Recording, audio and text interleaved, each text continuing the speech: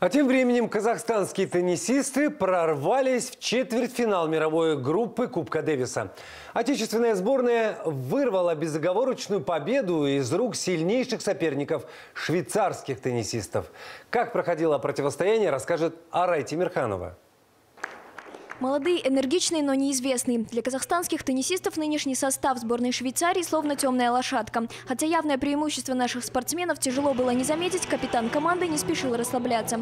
Отсутствие в сборной оппонентов Федерера и Вавринки никак не повлияло на настрой наших мастеров ракетки. В первый же день Дмитрий Попко показал фантастический теннис и одержал неожиданную победу над Генри Лаксонианом. Вторая встреча также оказалась в копилке сборной Казахстана. Михаил Кукушкин разгромил 22-летнего Адриана Бодмера. Ну и жирную точку точку в противостоянии с швейцарцами поставила пара Недовесова и Хабибулина.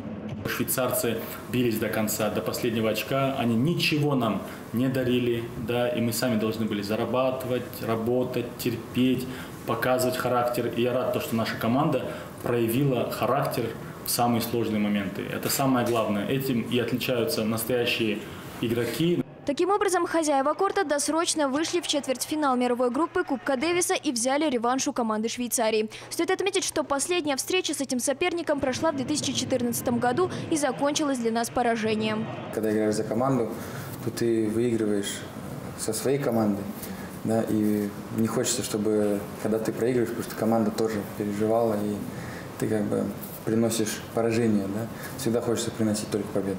С 6 по 8 апреля Казахстан будет противостоять сборной Хорватии. Уже через два месяца станет известно, смогут ли казахстанцы пробиться в полуфинал элитного турнира. Рати Мирханова, Нуркен Токмурзин, Информбюро, Астана.